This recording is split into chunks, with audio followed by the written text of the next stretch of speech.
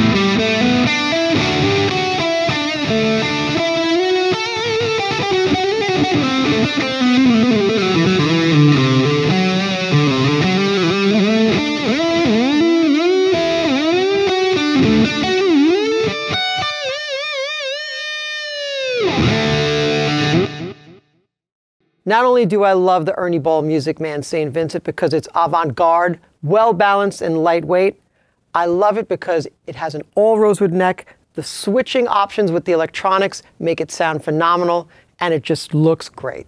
Definitely check it out.